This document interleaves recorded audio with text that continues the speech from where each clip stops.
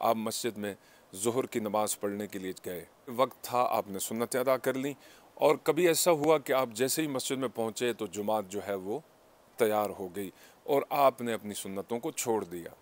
अस्सलाम वालेकुम रहमतुल्लाहि मैं उम्मीद करता हूँ आप सब खैरियत से होंगे, जहाँ भी हों, खैरियत से हों, अल्लाह ताला आपको अपने हिफ्ज़ व अमान में रखे।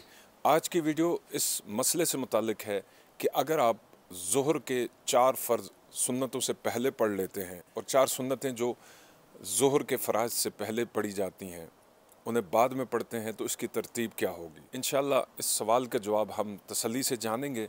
हमेशा की तरह आपसे मुलतमस हूँ। अगर आप इस चैनल पर नए आए हैं, दीन ऑनलाइन पे तो बर करम इस चैनल को सब्सक्राइब कीजिए और बेल आइकन के बटन को ज़रूर प्रेस कीजिए, ताकि हर नई आने वाली वीडियो बर वक्त आप तक पहुँच सके। नेकी के सिलसिले को सवाब की नीयत से अपने दोस्तों से अपने अजीज़ों से ज़रूर शेयर कीजिएगा। अल्लाह ताला हम सब का हामी नासिर। उमूमन आम तौर पर आप मस्जिद में ज़हर की नमाज़ पढ़ने के लिए गए। आगे वक्त था आपने सुन्नत अदा कर ली। और कभी ऐसा हुआ कि आप जैसे ही मस्जिद में पहुँचे तो जुमात जो है वो तैयार हो गई और आपने अपनी सुन्नतों को छोड़ दिया। और आप इमाम के साथ जो है जुमात में शामिल हो गए। जैसे ही आपने नमाज़ फ़र्ज़ इमाम के साथ अदा की तो नमाज़ की अदायगी के बाद अब ये चार सुन्नतों की तरतीब क्या होगी?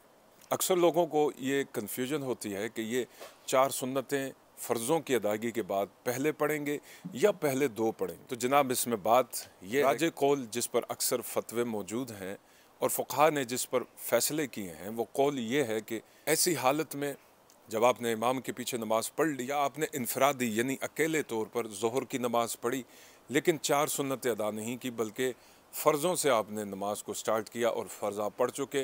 अब ये जो छः सुन्नतें बाकी बाद में हैं, इनकी बेहतरीन तरतीब यह है कि पहले आप दो पढ़ेंगे, फिर आप उसके बाद चार पढ़ेंगे।